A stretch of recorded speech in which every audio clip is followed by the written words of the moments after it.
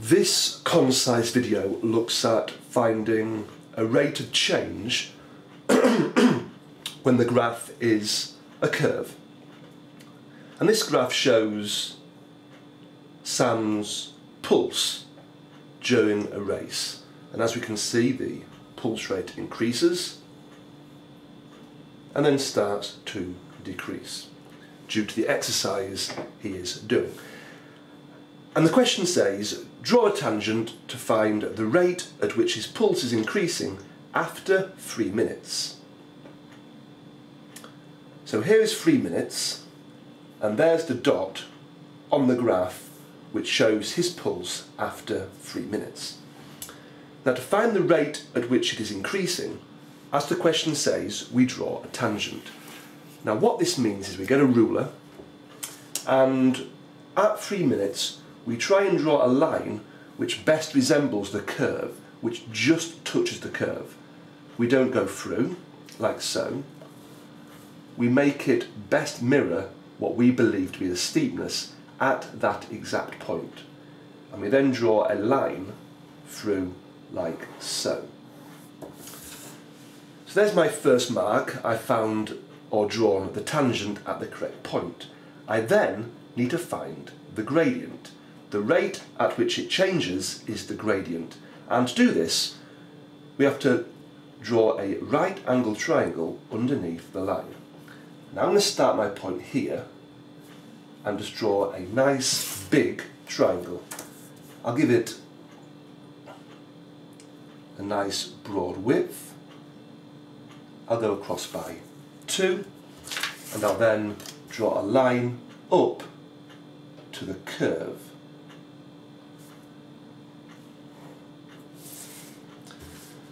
So there's my right angled triangle. Now to find the gradient, I need to find how much it increased by and how long it took.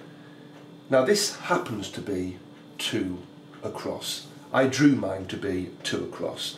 From 1 to 3 is 2. I can now find the height of this triangle as well. Well, it's gone from 100 to 119. So that's gone up by 19. Again, that there happens to be 100. This happens to be 119. So therefore the increase is 19. So I can now find the gradient. The gradient is given by the rise over the run, which is 19 over 2, which is 9.5.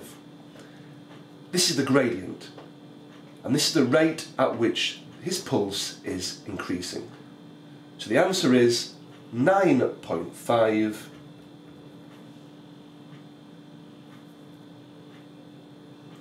beats per minute per minute. The units are the y-axis unit over the x-axis unit.